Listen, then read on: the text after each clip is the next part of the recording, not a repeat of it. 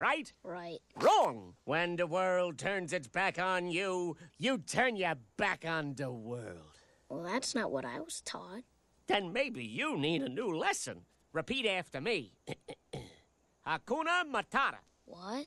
Hakuna Matata. It means no worries. Hakuna Matata. What a wonderful phrase. Hakuna Matata. Ain't no craze. It means no worries for the rest of your days.